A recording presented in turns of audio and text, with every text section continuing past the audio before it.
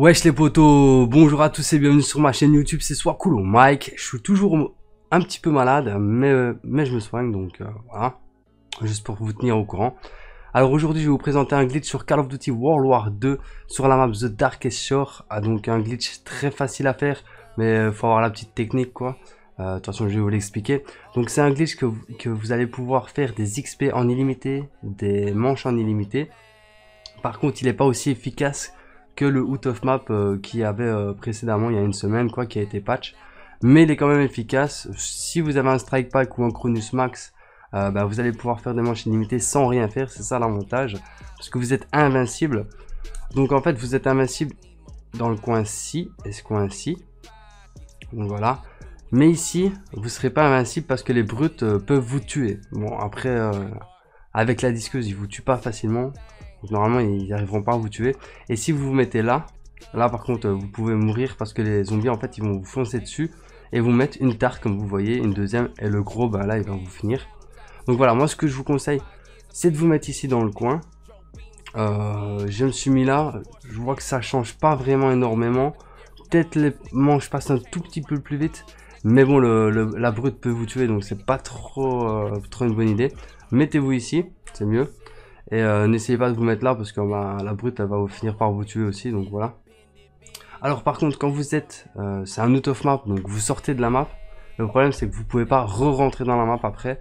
Donc euh, si vous faites le glitch soyez sûr de, de rester jusqu'au bout quoi parce que après ben, vous êtes obligé de mourir ou alors ben, de mettre fin à la game. Donc là j'ai fait 37 manches pour voir si ça fonctionnait pas mal.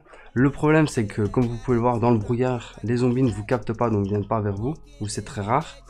Et aussi, le problème, c'est que vers les fins de manche, ben, le dernier zombie, en fait, ce qu'il fait, c'est qu'il spawn à l'extérieur, il reste figé comme euh, le Brutus et comme ce zombie-là.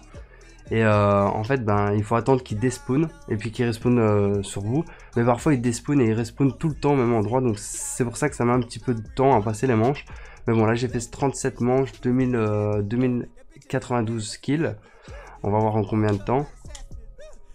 Donc en 3 heures. Donc euh, j'ai fait 2000 kills, donc on va calculer 100 XP par, par kill. Donc ça, nous fait une histoire de 200, 200, 200 XP quoi. Ouais, voilà. 200, 200 000 XP en 3 heures. Voilà, donc c'est pas mal quand même, c'est pas négligeable. Vous allez pouvoir passer votre prestige en, en une nuit quoi. Je pense que si vous mettez dans le glitch, euh, vous passez votre prestige euh, chaque nuit, vous pouvez passer un prestige. Donc pour ceux qui veulent le Chronus Max, euh, qui ont un Chronus Max, je mettrai un script dans la description qui activera votre spécialiste en même temps que vous dormez. Et ceux qui ont un Strike Pack, il ben, faut juste mettre un Rapid Fire sur le, le bouton R2 pour euh, attaquer, quoi. Pour attaquer avec euh, une scie en imité. Donc ce que je vous conseille comme mode, alors c'est dans équipement, ouais équipement. Donc ce que je vous conseille comme mode c'est choc, parce que ça double vos dégâts.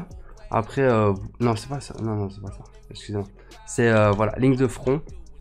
Ça double vos dégâts quand vous l'activez. Alors ensuite, moi j'ai mis bordé de nouilles pour, euh, euh, pour faire plus de mal parfois. le, le zombie bat, vous le tuez en un coup parce que vous touchez son point sensible. Après j'ai mis spécialiste pour que la chouche se recharge plus vite. Bon après bordé de nouilles c'est pas très utile non plus, hein. vous pouvez choisir autre chose. Moi c'est ce que j'ai mis parce que voilà je trouve ça assez utile. Et vicieux qui au mieux de doubler les dégâts, il est triple donc voilà, celui-là il est vraiment utile. Euh, bon après vous one-shotez avec la scie, vous one-shotez jusqu'à la manche 50. Donc voilà, donc il faudra la scie, pas améliorer, donc vous faites que la scie, vraiment que la scie, vous l'améliorez pas. Faites pas le sacrifice pour relancer des, disques. Comme ça vous allez one-shot jusqu'à la manche 100 même plus. Et, euh, et, voilà, là, donc là je vais lancer la partie et je vais vous montrer comment faire. Donc première chose à faire c'est de fabriquer la scie après fendre. Donc là j'ai déjà été récupérer les pièces, je suppose que vous savez tous comment la faire pas besoin de vous expliquer. Donc il vous faudra 2500 points et là vous ne l'améliorez pas, vous la laissez telle quelle. Comme ça vous allez faire des coups comme ça tout droit. Et, ça, ça va one shot jusqu'à la manche 100, 150, peut-être même 200. Jamais été jusque là. Alors c'est très simple. Il faut surtout pas sprinter. Il faut juste avancer, sauter et s'accroupir. Voilà. Faut essayer de passer à travers la porte comme ça. Voilà, tout simplement. Vous avez vu C'est super facile. Bon après il faudra juste attraper le, le coup de main mais après, voilà, c'est super facile à faire. Mais ne le faites pas en pleine game parce que vous ne pourrez jamais sortir. Par contre, vous pouvez vous suicider en vous collant contre la porte comme je vous ai montré en début de vidéo. Et, euh, Et puis après, respawn à la prochaine manche, si vous êtes à plusieurs, quoi. Si vous êtes en solo, ben là, c'est mort. Alors, euh, comme je vous disais, regardez, en fait, les zombies, ils spawnent là. Donc, vous mettez genre dans le coin ici. Et les zombies vont spawn là et ils vont despawner, ils vont respawn ici. Mais parfois, ils respawnent là. Ils restent plantés là et ça fait ralentir les manches. C'est ça le problème. Mais sinon, je trouve que c'est vraiment un des meilleurs glitches pour l'instant sur The Darkest Shore. Donc voilà, profitez-en un maximum avant qu'il soit patché. Euh, si ce glitch vous aura fait plaisir, ben, n'hésitez pas à liker, à partager et à vous abonner si ce n'est pas déjà fait. Moi je vous dis à très bientôt pour plus de vidéos de potos. Allez ciao, peace